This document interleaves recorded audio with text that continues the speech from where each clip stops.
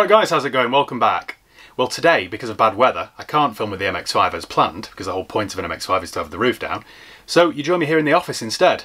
As Bear Grylls would say, improvise, adapt, overcome. I thought for a change, rather than me driving around the beautiful High Peak area, I'd have a chat with you instead about cars that you would think would be reliable, but actually aren't.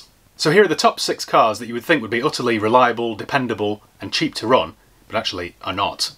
This might surprise you. I haven't gone off whatcarshouldIbuy.com's consumer reports or the JD Power Guide or Kelley's Blue Box or any of those things. This is just my own personal experience. So hopefully this video will prevent you falling for the same mistakes. So first up, we're heading to the land of the rising sun, surprisingly, and it's the Mazda 6 Skyactiv Diesel, specifically the 2010 to 2014 model. Now, they have an issue with the oil pickup pipe, which gets clogged and then starves the engine of oil. You know what you get when you turn the oil off, as the UAE will discover in a few years' time? Absolutely nothing. Catastrophic engine damage is the answer. In addition to an oil-free engine, they also have timing chains that can stretch, DPFs that can block, turbos that can blow, so you are best to avoid that Skyactiv diesel engine. After 2014 they got better, but pre-2014 just buy something else.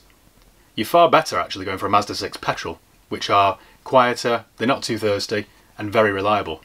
They also sound much better because the diesel in half clattery. What I will say is though, my experience with most Mazda dealers has been pretty good. They're usually quite helpful and apologetic. Next up is the Nissan Qashqai, both new shape and old. Setting aside the fact that I don't like them because they're bought by people with absolutely zero imagination, they're also not reliable. Parts are way more expensive than you might expect, they rust, the tailgate handles fall off, the 1.2 and the 1.6 litre petrols have timing chain issues.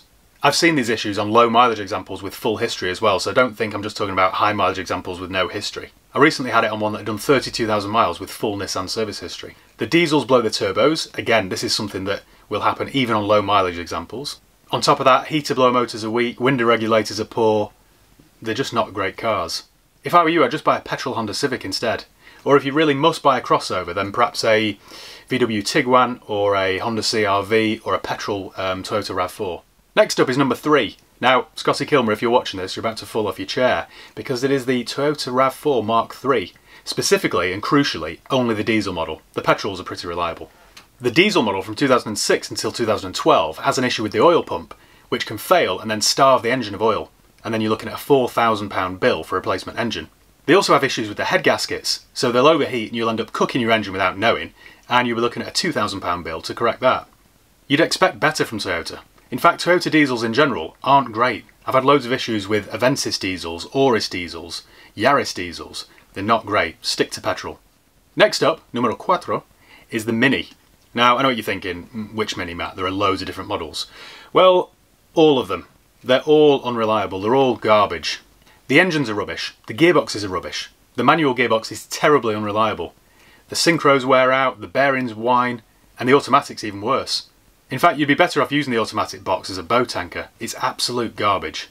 In addition to that, the electrics were obviously designed by a madman, and the power steering by somebody who's very bitter and vindictive. The timing chains go bad, they burn oil, they misfire. If you go for a diesel, the DPFs block, the turbos fail, EGRs get clogged. Don't get me wrong, the design of the new Mini from 2001 onwards is excellent. I think it's a really stylish little car. And they're great fun to drive when you want to go everywhere at 100 miles an hour.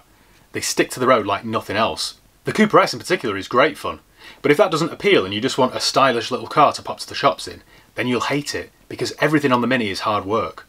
From the moment you walk up to the door and try and open the door handle, everything's heavy and stiff. The steering's heavy, the clutch is heavy, the gear selector's heavy. You need the upper body strength of a caber thrower, but that isn't my main issue with it.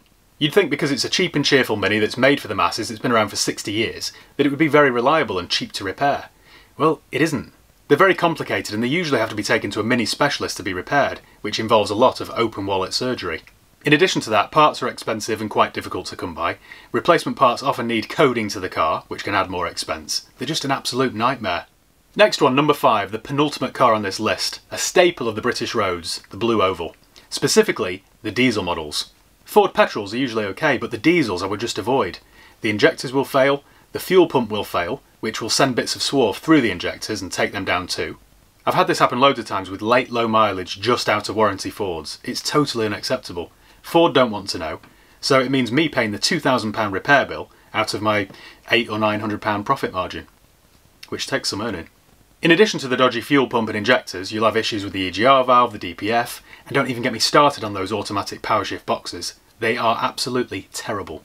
They're some of the least reliable gearboxes in the history of mankind.